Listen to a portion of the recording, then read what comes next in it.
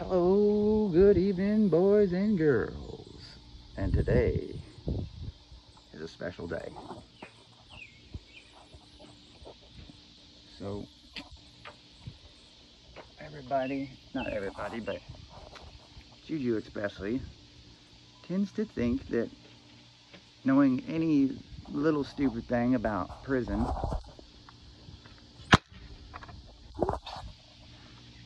like people are interested. Okay, so anyway, so in honor of that, I am wearing a habit shirt that kind of resembles a Missouri State Prison fucking uniform. Anyway, rule number one. I don't give a fuck how tough and stupid you think you are. Have good hygiene. Brush your teeth every, before you fucking talk to anybody. Brush your teeth make sure you wash your ass every fucking day. When you, in, you know, when you can. Like if you're in the hole, that's a whole different story. And then you motherfuckers are just suffering together. Rule number two. Actually, let's go back to rule number one. It's probably my, fuck, had to have been my first week in there. I'll never forget. Fucking called breakfast at five something in the morning.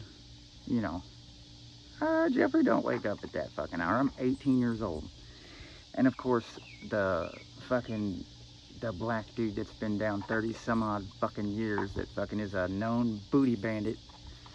He's the one that's gonna fucking has to say something, right? He's the, the kind of guy that makes you wish you were in your 30s in there, because, yeah. Anyway, what uh, I, I remember a fucking, because, I mean, you know, you can tell when somebody just jumps out of bed and does something, you'd be all fucking like, oh, this motherfucker's in the background talking to a little, a whole little group of our, us RNOs and shit. And he's like, uh, I didn't know, I didn't know we had firemen around here. Fire, he kept calling us firemen, and I was, you know, and then it dawned, and then it dawned on me like, oh shit, he's talking about fucking because, you know, where's the fire? Go fucking, you know, because it is. Anyway, you get your ass kicked, fucking, you don't wash your ass and brush your teeth and shit. Uh, rule number two. Let's see here. What's rule number two?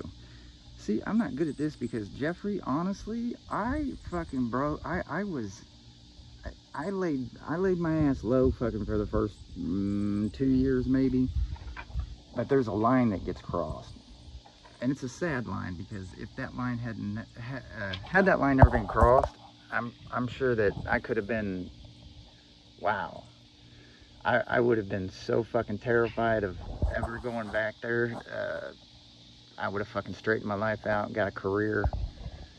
I mean, shit. But then there's a line that gets crossed. It's called uh, adapt adaptation. Once it stops becoming fucking a punishment, and it's just kind of like, you know, you can it, it, you can do it standing on your head, and you make a ton of friends, and it's just kind of you guys start making your own little ways of having a lot of fun and shit in there. Uh, yeah, that's that's when you're in trouble. And bear in mind, if you go in there at a young age, uh, just think how fucking, uh, when you're 18 years old, just everybody think back to when you were fucking 18. Now imagine somebody told you that you're not getting out of prison until you're 23.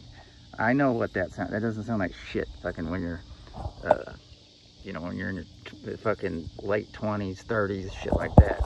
But God, remember how fucking slow time went back then? Oh my God. Gave me ulcerative colitis. Yes, it did. But uh, anyway, I forgot what I was talking about. Anyway, yeah, you're supposed to not gamble, but I gambled. You're supposed to not do drugs. I did drugs. You're supposed to, I mean, I did anything. Once I broke that that line, that barrier, there was, uh, I was, I was doing anything and everything. And what's beautiful is, there's, I mean, it's, fuck, it's, I'm going on like 20 years. So, you know, I can even tell you where the crack pipes are at that I fucking hid. Shit. Uh, we got so many crack pipes going on one time that fucking, uh, there was a, you know, the racks in the closets, those metal rack, I don't know, they're metal racks that hung something. Uh, there was a little, you know, it was like aluminum and there was, it was hollow behind it. Me and my buddy, me and my buddy from, since, from childhood, we was, we would always take a fucking antenna, break off the antenna, fucking, push, you know, you guys know how to do it, but then we'd be pushing it behind there. and uh, it got so fucking out of whack. All of a sudden you heard tink.